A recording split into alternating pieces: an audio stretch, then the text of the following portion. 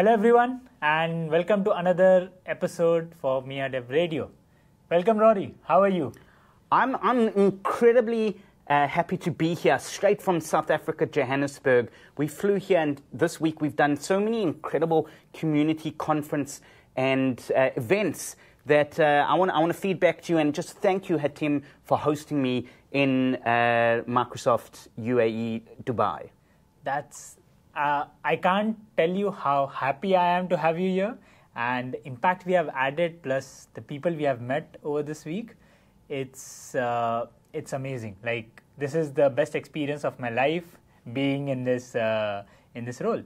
So, Rory, uh, thank you for coming on a show. First of all, uh, usually we run this podcast to help budding developers, bring them into the communities, and we talk more about you know from your experience and your tips and tricks how they can actually go ahead and you know contribute more towards the community and as well they get to learn from us, right? So let's start with can you introduce yourself and tell me more about you and our audiences? I'm going to speak to the camera so yes. you, you, can see me, but um, I'm also going to look at you occasionally. So, hi, my name is Rory Preddy, and I'm a principal developer advocate for Microsoft. And what developer advocates do is that we empower developer communities um, to be able to do more in the Microsoft ecosystem. And I'm actually a group of 90 plus developer advocates that uh, really involve ourselves with the 40 million people that call Microsoft home and look to us to really guide them through the solution. Now, I've been in IT for 23 years now. That's and I've been a developer for 15 years, and I've been in developer relations for 10 years. So it's been a really wonderful and wow journey for me as I progressed through this, though. But I've learned a few things about my career, and I, I know that you said you've got some questions on where do I start uh, with my career journey. Yes. So uh, before we get into that, this is an exciting journey which you showed, and I wanted to ask you a bit more about, uh, as a developer advocate, what do you think is the current need of the hour? Like in the community, how and what is your role as a developer advocate? First of all, a developer advocate needs to be a person that people trust. They need to have a reputation of trustworthy and also be a very good public speaker with a good social following that people can say, wow, I can watch this person for 30, 40 minutes, or I can uh, read their content, and it's incredibly uplifting and enabling content. Correct. So that's, that's something that myself as a content creator and an influencer, I have to be on the top of my game. And it really comes down to how well can I research a topic. So we, we sat today with startups and we went through the new uh, Azure OpenAI and I had to go myself and really say, I have to learn this topic not only well enough to be able to uh, know it myself, but well enough for individuals to trust that I can help them uplift their experience in the topic also. So, developer advocates really are a scale. In the center of the scale is the trust that I mentioned, and that is Microsoft runs on trust. Um, and then on the uh, left hand side of the scale is education, so their formal education, relevance, so cutting edge technologies and, and being able to have uh, a view of zeitgeist, so the current pulse of society, education, relevance, and experience. And experience, they look to me to say, okay, um, can you sh- please show us real world examples? On the other side of the scale is the social. And developer audiences also look to that because the social is um, made up of community. Yes. You, you drive many communities and they want to be part of a community.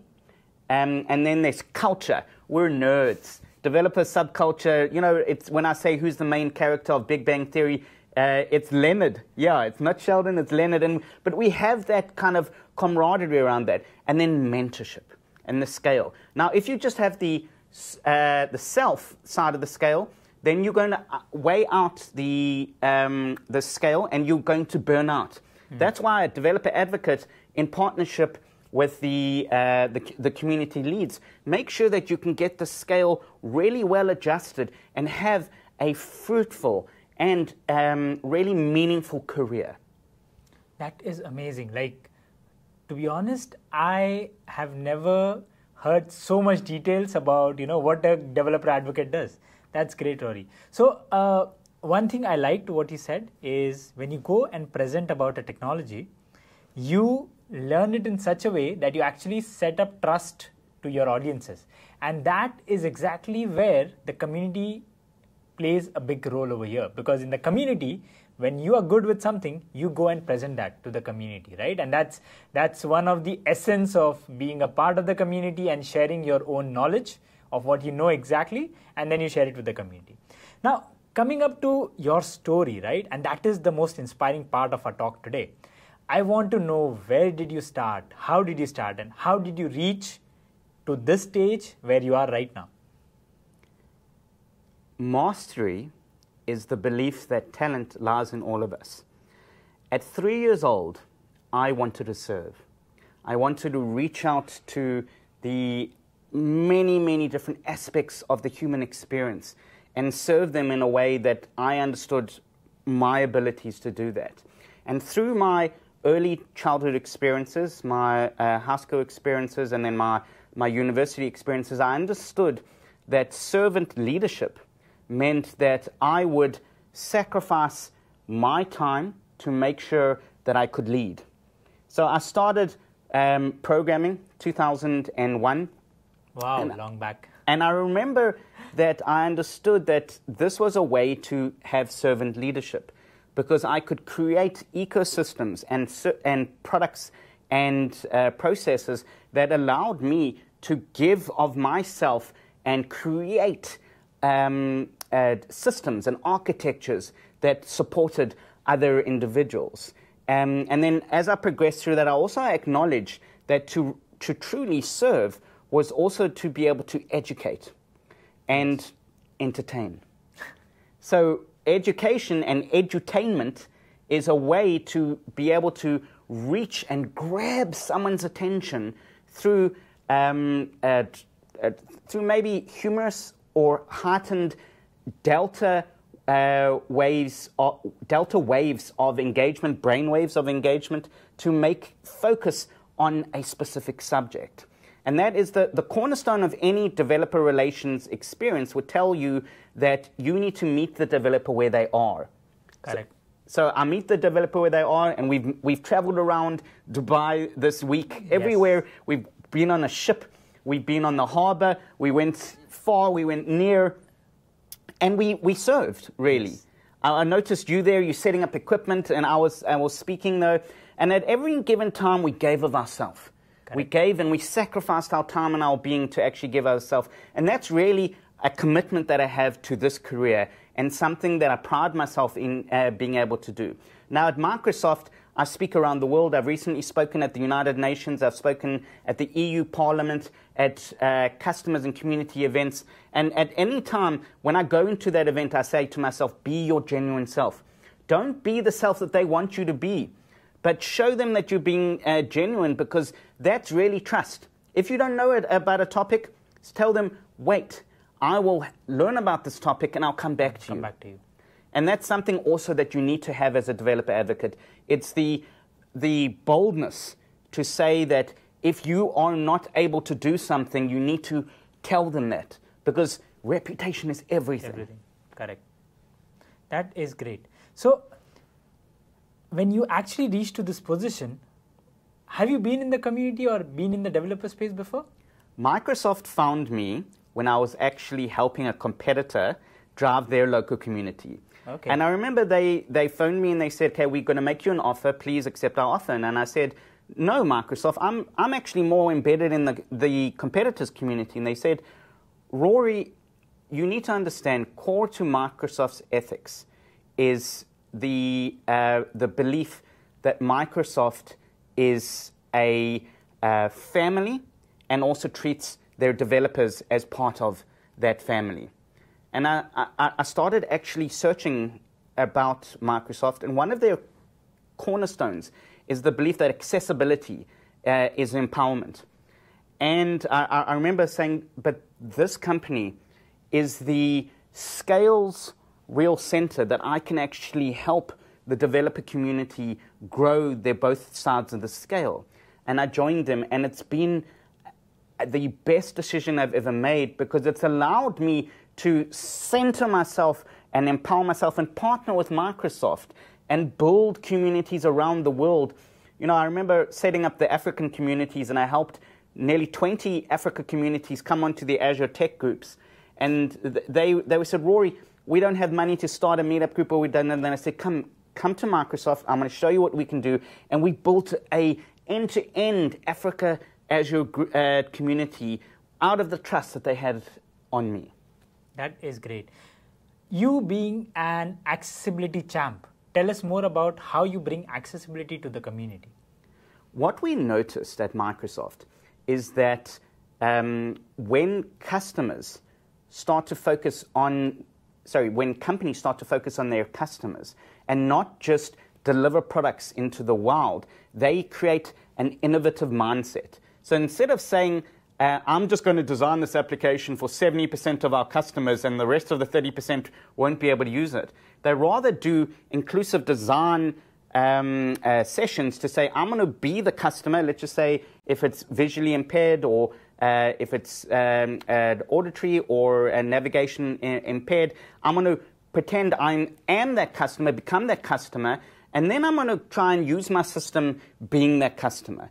And once they do that, they wait, wait a second, the, this can't be used by a visual impaired person, but at the same time, it may not be able to use by the silver generation, the generation yeah. with the highest expendable income, which is the over 70 generation. So we show them how to solve for one and extend to many. And then we have our toolkits, the accessibility insights uh, toolkits, our Azure DevOps uh, pipeline toolchains, and also our inclusive design toolkit that show them how to design for these customers. And we've proven that it's an increase in revenue, it's an increase in innovation, and at the same time, it allows me to present to audiences in their native and natural language. I've yes. presented in Arabic, in uh, Swahili, I've spent, uh, presented in Zulu and Afrikaans. Um, just because the same technology that creates innovation through accessibility also allows us to create innovation through AI. Yes, yes. That, that is so good to hear.